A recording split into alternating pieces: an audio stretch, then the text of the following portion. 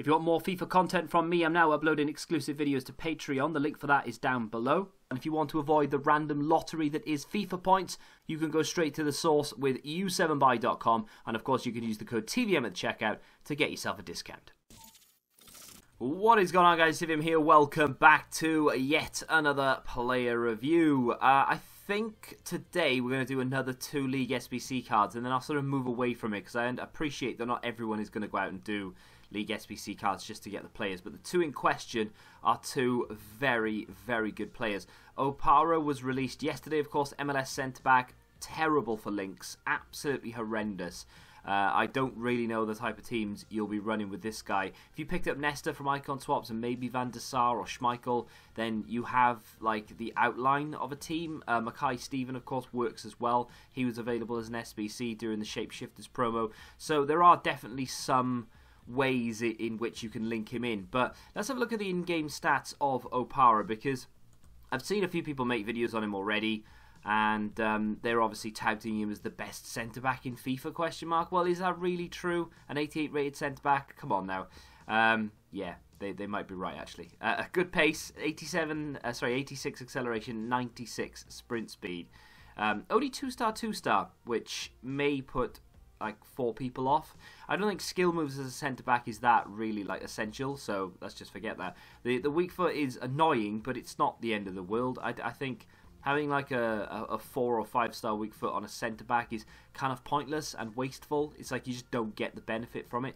Uh, in terms of the um, the defensive stats, I mean mid 80s to high 80s and heading is low 90s. So, I mean, that's really good. His physicals are just insane. You don't need good stamina on centre backs, but he has it in 83. He's got insane jumping, insane strength, and aggression. Absolutely brilliant. Uh, passing, well, you know, not bad for a centre back with uh, two star weak foot. 99 short passing. That's crazy stuff. His vision is terrible at 70, but just enough to get the ball out of the back should be should be enough there. I mean, 99 short passing. A lot of midfielders don't have that. I know if you don't have the vision, it doesn't feel that great, but still, still a great stat. 97 agility, which was definitely something I was concerned about yesterday when I first looked at the card. I looked at um, looked at pace. It was like, wow, 92, that's crazy. And then defending in physical. Oh my god, this is so good. And then, oh dear, 75 dribbling. That isn't great, is it? Uh, but then I thought, well, let's have a look, see what his agility's like. It's probably something like 70 or whatever. No, 97. 97 agility. That means this card is going to feel so much better than what you could ever imagine it would do. The the 74 rated card, which is obviously the, the base, uh, was upgraded by 19 points, 24 in agility alone, but 19 across the board for dribbling, 24 across the board for passing. I don't quite understand why they've gone, right, well, let's give him 99 short passing, because uh, that's a heavily boosted stat. Is he known for being an amazing passer? Don't know. Good composure, insanely good reactions. I mean, to be fair, on paper, with the chem style in particular, which is an anchor, he actually turns into a 95 rated centre back. If you if you if you try and if you sit there, you sit there and you try and tell me that that isn't end game stats, then you're lying. You're lying to me. You're lying to yourself. You're lying to everyone who's helped you in life. It, it's um it, it it really is an end game card, especially with that chem style. Now I gave him an anchor uh, because I, I, felt like uh, there was no need to go with uh, with a short passing boost. Obviously, just to get that vision, pointless for a centre back. If he was a CDM, then maybe we'd argue it, right? Uh, dribbling again, I don't really care about the ball control and the actual dribbling aspect.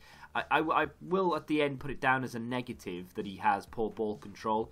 Uh, because or dribbling because they're both really really bad. But for a centre back, especially if you're going to use him no nonsense, you just get the ball and get it out brilliant. Um, let's talk about the um, the positioning. Uh, talk about the jockey. Uh, I mean, I've used a, lot of good centre backs this year. Ramos UCL. Uh, I've got Nesta, still used him. Gomez's uh, live card, which is now defunct, of course. To be fair, every dynamic card is now defunct, so that's irrelevant that Liverpool got knocked out of the tournament. I think they meet today, don't they? The um, the European Commission or whatever it may be to discuss what happens with the Champions League and the Europa League. I really wouldn't be shocked to see them just void the competition, which is a bit like know it's a bit grim on the likes of Atletico and, and Atalanta, for example, who have you know their first ever season in the Champions League. They've done so so well to get where they've got, and the the competition gets voided. It's going to be a bit grim, but we'll have to wait and see what happens there. But with um, with regards to Opara, if we could try and pick up on a weakness, honestly, besides the links and besides the obvious, you know, his ball control, his dribbling are not very good, his weak foot isn't very good, uh, the vision is terrible. Like those are things that like, I don't care about. Like they they're factual, they are bad, but I don't care that they're bad because it doesn't affect how good the card actually is. Does that make sense? I like I said, I've used a lot of good defenders this year, and the list could have gone on and on and on with me starting with the likes of Ramos and so on and so forth. But honestly, and I'm not just saying it for the sake of clicks or whatever, this is the best centre back I have used in FIFA 20. He is absolutely incredible. And I don't say that lightly because of the, the, the people that I've used. You know, like Screen PK was a very, very good card. Um, Headliners Varane is a good card. Use them a fair bit. But this guy is on another level. His natural positioning, defensive awareness is insane. He has the ability to catch up with defenders, despite the fact that he's been beaten all ends up. Like, not not to say that he's not good enough to be able to cope with it, but what I mean is the ball bypasses him, right? So it gets played around the outside of him. He's he's gone to, to make a challenge and he's just somewhat out of position or whatever, and he doesn't quite make the tackle. Well, he then sprints back and beats whomever he's racing gets in front of him, makes a challenge, gets the ball, plays it out. He's got that much pace that he can honestly he can do that, and he's a natural centre back. There are plenty of players out there who I see use as centre backs who aren't natural centre backs.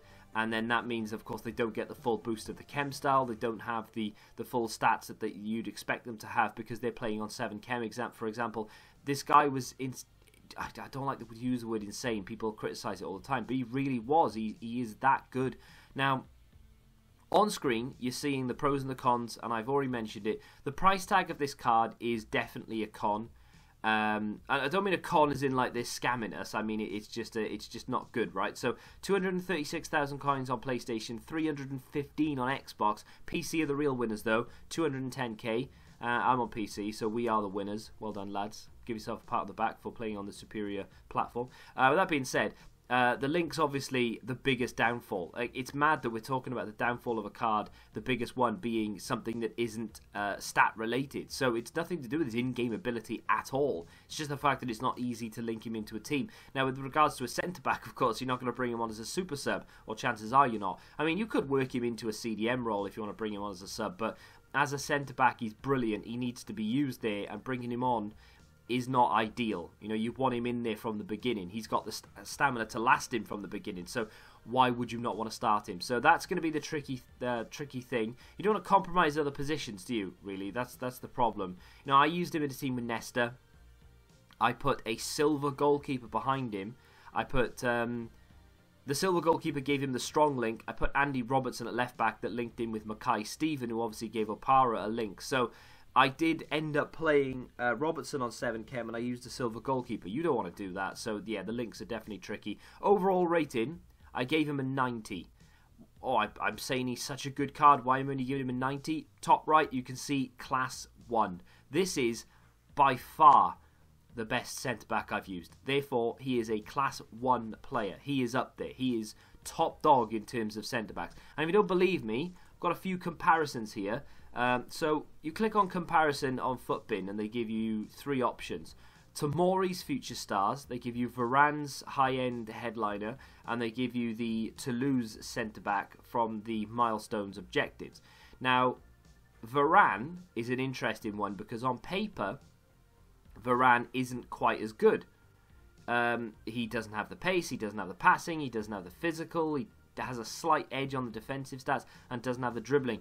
He doesn't have anywhere near the amount of agility that Opara has, which is so vital in that centre back role for jockeying. Tomori comes close, but again, just doesn't quite live up to what Opara is. And of course, that uh, Toulouse centre back doesn't have it either. So, in all honesty, you compare him to those three players who are just as expensive, if not a lot more expensive, and Opara holds his own. The only downfall are the links, and that is where the sticking point is. But in terms of centre backs, you, you're not going to get better than this for a long time. If You agree or disagree? Feel free to let me know in the comment section down below. If you have enjoyed the video, hit the like button, subscribe to the channel if you're new, and until the next time, goodbye. Football Index. The game changed. Download the app now.